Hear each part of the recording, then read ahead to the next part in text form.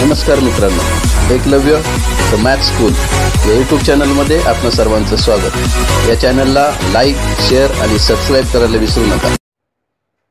नमस्कार विद्यार्थी मित्रांनो. मी सचिन धनवट. आपणा सर्वांचं एकलव्य द मॅथ स्कूल या यूट्यूब चॅनलमध्ये मनपूर्वक स्वागत करतो.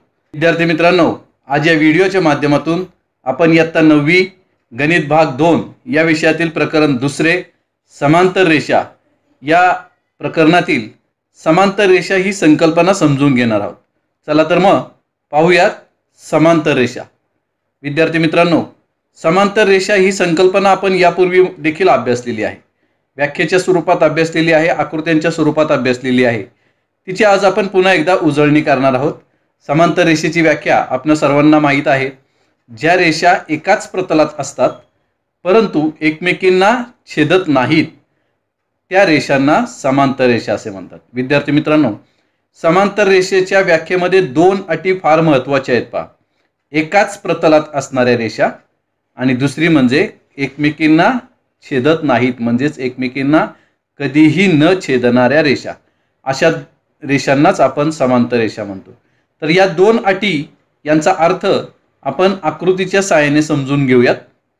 आपल्याला इथे दोन आकृत्यांचा विचार करायचा आहे पहिल्या आकृतीमध्ये एकाच प्रतलात दोन रेषा घेतलेल्या आहेत आणि दुसऱ्या आकृतीमध्ये आपण दोन वेगळी प्रतलं घेऊन प्रत्येक पत प्रतलामध्ये एक एक रेषा घेतलेली आहे.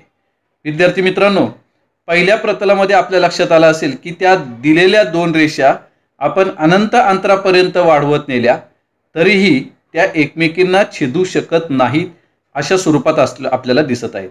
म्हणजे पहिली आकृती ही कुठेतरी समांतर रेषेच्या व्याख्येशी मिळती जुळती आहे. इथे आपल्याला लक्षात आलं असेल की दिलेल्या दोन रेषा या एकमेकींना छेदू शकत नाहीत.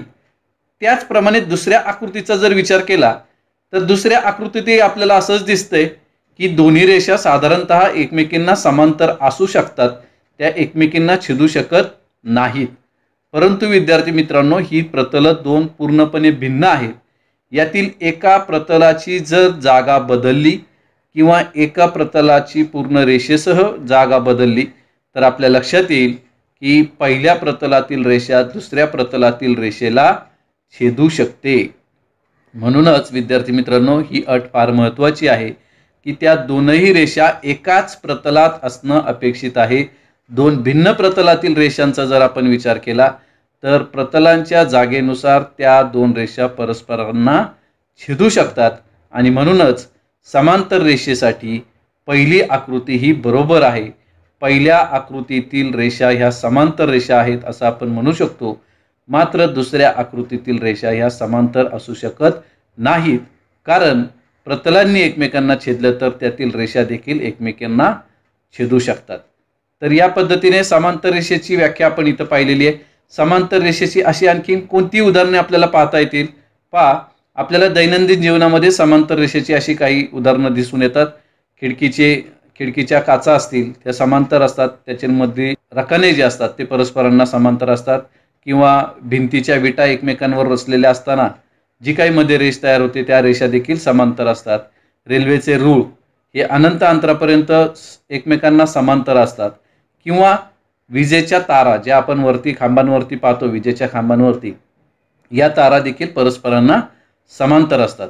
तर इथे आपण समांतर रेषा म्हणजे नेमकं काय आणि त्या आकृतीच्या सहाय्याने आणि विविध उदाहरणांच्या सहाय्याने समजून घेण्याचा प्रयत्न केलेला आहे. आपण पुन्हा एकदा समांतर रेषेची व्याख्या पाहूयात. ज्या रेषा एकाच प्रतलात असतात परंतु एकमेकींना छेदत नाहीत अशा रेषांना आपण समांतर रेषा म्हणू शकतो. विद्यार्थी मित्रांनो इथे दोन अटी मी मागाशी सांगितल्याप्रमाणे फार महत्त्वाच्या आहेत. एक म्हणजे त्या दोनही रेषा एकाच प्रतलात असल्या पाहिजेत. आणि दुसरी म्हणजे एकमेकींना कधीही न छेदणाऱ्या रेषा असाव्यात तर त्यांना आपण समांतर रेषा म्हणू शकतो. तर यालाच अनुसरून आपण पुढील घटक अभ्यासणार आहोत तो म्हणजे कोणांच्या जोड्या. विद्यार्थी मित्रांनो यासाठी आपल्याला दोन रेषा आणि त्यांची छेदिका विचारात घ्यावी लागणार आहे. तर त्या स्वरूपाची आकृती इथं आपण विचारात घेतलेली आहे पहा. रेषा एम आणि रेषा एन या कोणत्याही दोन रेषा आहेत. अर्थातच त्या समांतर आहेत किंवा नाही हा प्रश्न इथं फार महत्त्वाचा नाही. दोन रेषा आहेत. आणि रेषा एक्स जी गुलाबी रंगामध्ये दर्शवलेली आहे ती रेषा एक्स ही एम आणि एन या दोनही रेषांना छेदत असल्यामुळे तिला आपण छेदिका म्हणत आहोत. ती दोन भिन्न बिंदूंमध्ये रेषा एम आणि रेषा एनला छेदत आहे. आणि अर्थातच रे छेदिका एक्सने रेषा एम आणि रेषा एनला छेदल्यामुळे त्या प्रत्येक छेदनबिंदूपाशी विद्यार्थी मित्रांनो एकूण चार चार कोण तयार झालेले आहेत? म्हणजेच दोन रेषांना छेदल्यामुळे तिथे एकूण आठ कोण तयार झालेले आहेत पहा. आपल्याला कोण इथे कोणांना आपण नावं दिलेली आहेत? कोण ए कोण बी कोण सी कोण डी कोण ई कोण एफ कोण जी आणि कोण एच असे आठ कोण तयार झालेले आहेत. म्हणजेच जेव्हा दोन रेषांना एक छेदिका छेदून जाते त्यावेळेस त्या दोन्ही रेषांच्या छेदनबिंदूपाशी प्रत्येकी चार चार असे एकूण आठ कोण तयार होतात. विद्यार्थी मित्रांनो या आठ कोणांमध्येच आपल्याला विविध प्रकारच्या चार कोणांच्या जोड्या अभ्यासायला मिळतात पहा पाहायला मिळतात. जे आपण यापूर्वी देखील अभ्यासलेले आहेत त्याची आपण पुन्हा उजळणी करत आहोत. तर त्या चार जोड्या कोणत्या? तर त्या चार कोणांच्या जोड्या पहा. पहिली संगत कोणांच्या जोड्या नंतर आंतरव्युत्क्रम कोणांच्या जोड्या बाह्य व्युत्क्रम कोणांच्या जोड्या आणि आंतरकोनांच्या जोड्या. अशा चार प्रकारच्या कोणांच्या जोड्या आपल्याला या आठ कोणांमधून पाहायच्या आहेत अभ्यासायच्या आहेत समजून घ्यायच्या आहेत. जेणेकरून इथून पुढे या प्रकरणामध्ये या कोणांच्या जोड्यांना अनुसरून आपल्याला काही सिद्धता मांडायच्या आहेत अभ्यासायच्या आहेत. तर सर्वप्रथम संगत कोणांच्या जोड्या म्हणजे नेमका कोणत्या जोड्या? हे समजून घेऊयात. संगत कोणांच्या एकूण चार जोड्या आहेत विद्यार्थी मित्रांनो. त्यातली पहिली जोडी आकृतीमध्ये पहा. कोण बी आणि कोण? एफ ही पहिली संगत कोणांची जोडी आहे? या जोडीचं वैशिष्ट्य काय आहे? तर ही कोणांची जोडी? दोनही रेषांच्या म्हणजेच रेषा एम आणि रेषा एनच्या वरच्या बाजूला आहे आणि छेदिका एक्सच्या उजव्या बाजूला आहे. पहा. रेषेच्या वरती परंतु छेदिकेच्या उजव्या बाजूला ही पहिली कोणांची जोडी संगत कोणांची जोडी आपल्याला पाहायला मिळते. म्हणजेच पहिली कोणांची संगत कोणांची जोडी आपण लिहू शकतो? कोण बी आणि कोण एफ अशाच पद्धतीचे रेषांच्या वरच्या बाजूला परंतु आता छेदिकेच्या डाव्या बाजूला असणारी कोणांची जोडी पहा. कोण ए आणि कोण ई ही देखील एक दुसरी संगत कोणांची जोडी तयार झाली. विद्यार्थी मित्रांनो इथं आपण दोन जोड्या कोणत्या पाहिल्या पुन्हा एकदा पहा. दोनही रेषांच्या वरच्या बाजूला पहिली जोडी होती छेदिकेच्या उजव्या बाजूला असणारी. म्हणजेच कोण बी कोण एफ. दुसरी जोडी आहे छेदिकेच्या डाव्या बाजूला असणारी म्हणजेच कोण ए आणि कोण ई. ही झाली दुसरी संगत कोणांची जोडी. आता आणखीन कोण दोन कोणांच्या जोड्या याच्यात असणार आहेत संगत कोणांच्या जोड्यांमध्ये? ते कोणत्या? पहिल्या दोन जोड्या आपण पाहिल्या दोनही रेषांच्या वरच्या बाजूला होत्या. म्हणजेच एम आणि एन या दोन्ही रेषांच्या वरच्या बाजूला एकदा छेदिकेच्या उजवीकडचे आणि एकदा छेदिकेच्या डावीकडचे. त्याच पद्धतीने पुढच्या कोणांच्या जोड्या असतील दोनही रेषांच्या खालच्या बाजूला छेदिकेच्या उजव्या बाजूकडचे एकदा आणि डावी बाजूकडचे एकदा. तर तिसरी कोणांची जोडी पहा? आता दोनही रेषांच्या खालच्या बाजूला मात्र छेदिकेच्या म्हणजेच एक्स या रेषेच्या उजव्या बाजूची पहिली जोडी असेल ती म्हणजे कोण सी आणि कोण जी ही संगत कोणांची तिसरी जोडी असणार आहे विद्यार्थी मित्रांनो. रेषांच्या खालच्या बाजूला आणि छेदिकेच्या उजव्या बाजूला असणारी तिसरी कोणांची संगत कोणांची जोडी आहे? कोण सी आणि कोण जी?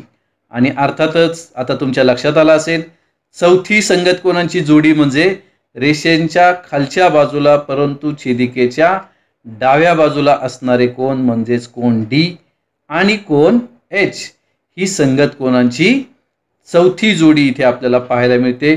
म्हणजेच इथं आपण संगत कोणांच्या चार जोड्या पाहिल्या.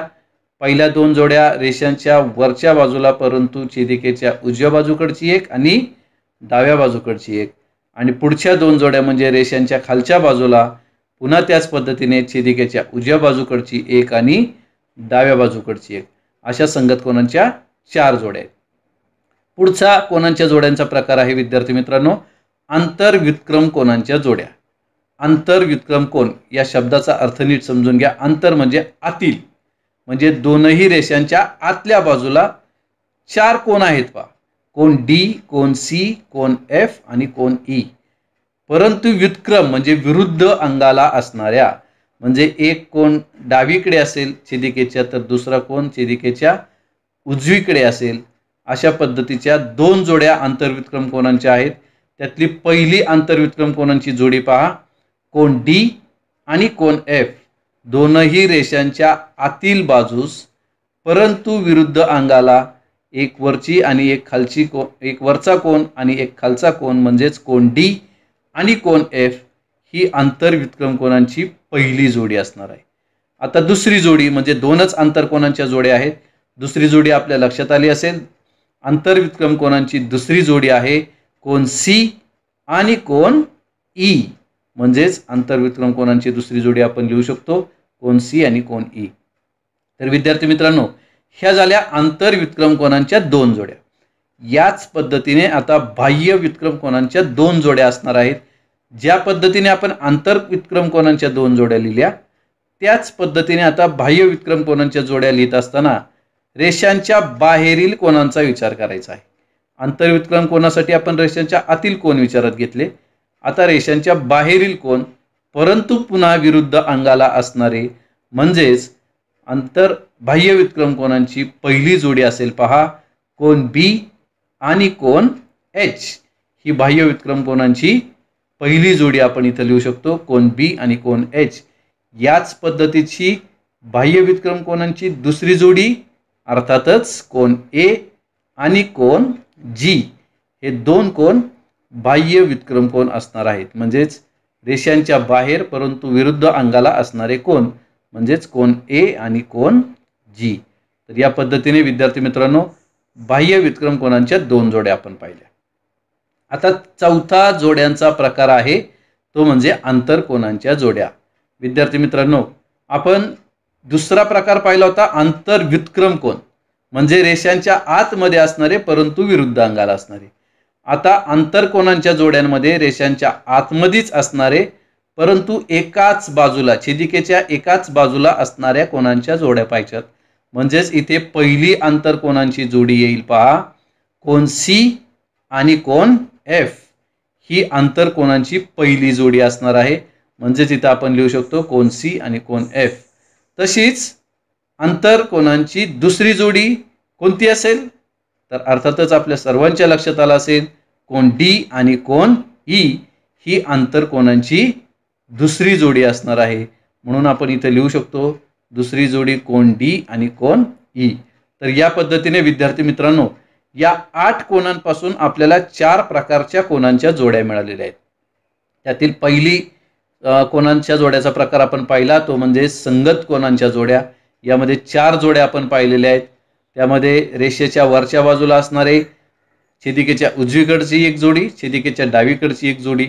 त्याचप्रमाणे रेषांच्या खालच्या बाजूला असणारे छेदिकेच्या उजवीकडील एक जोडी आणि छेदिकेच्या डावीकडील एक जोडी असे चार कोणांच्या जोड्या आपल्याला इथं पाहायला मिळाल्या.